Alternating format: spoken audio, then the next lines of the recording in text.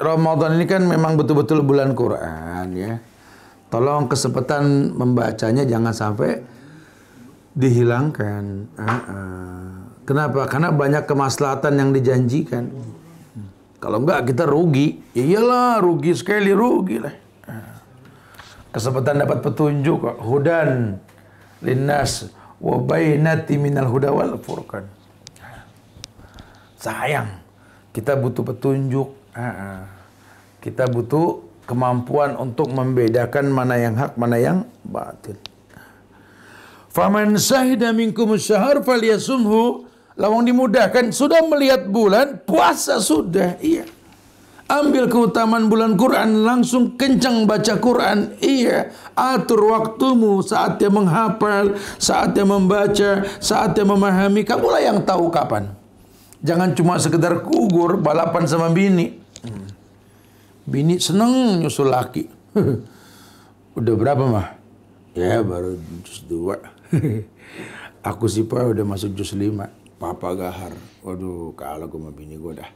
Bini gue ngepot amat bisa lima. Baca gimana tuh caranya tuh? Nah, diam-diam dia baca lagi. Nggak dia pikirin tajwid. Yang penting ngepot dulu. Tegur bininya. Masih lima mah. Kenapa pak?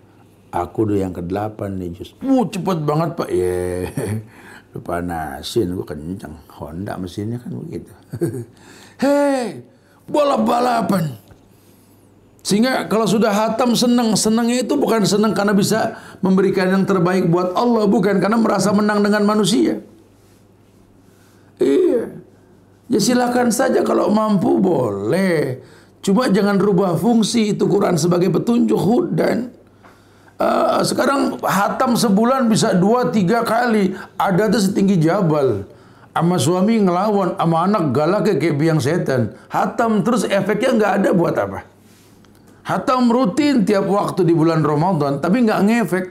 Sama orang tua ngelupain. Awal Ramadan nggak ngebagi. Yang diminta malah nuntut orang tua di ujung Ramadan nanti. Mak, masak apa, Mak? Membagi kagak nanya masakan. Kan kelewatan. Alhamdulillah, Mak. Udah hatam sini, Mak, di bulan. Lima kali, Mak. Mak, awal gelap. Lu mah hatam-hatam juga nggak ngebagi sih. Iya. Iya. Ego dia.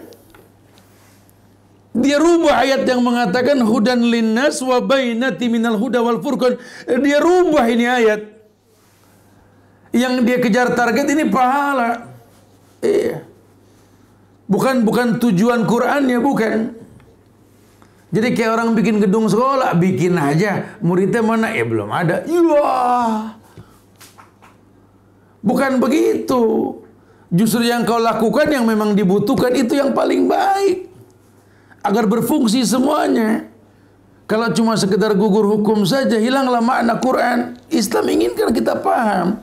Selain ini Quran sebagai petunjuk, Quran pun memiliki nilai ketika kau membacanya. Hari biasa per huruf satu, Ramadan per huruf sepuluh. Begitu nilai tambahnya. Tapi tujuan utamanya apa? Itu petunjuk. Tertunjuki manusia dengan Quran. Jangan sampai nggak tertunjuki. Iya, ini banyak. Jadi kayak orang lagi musim-musim kajian sebelum lockdown. Wow, kajian mana yang dia nggak datang? Handphone itu kontak name UST titik semua tak? Temennya Ustad. Tapi ya Allah Ustad, salah tempat meletakkan empati Ustad. Ketika ada suaminya artis meninggal, dia mewek semua tak? Ama lakinya galak bener. Itu katanya ngaji, katanya baca Quran. Lihat ya, nggak nggak memiliki hati yang lembut, ego beragama sendiri. Katanya ngaji, ya, katanya hatam Quran, iya. Ama anak innalillah nggak bisa mencontohkan, ah, berubah fungsi sudahlah ya. Ini hilang makna. Nah kita nggak pengen. Itu namanya penceceran keutamaan-keutamaan yang Allah janjikan. Ah, sayang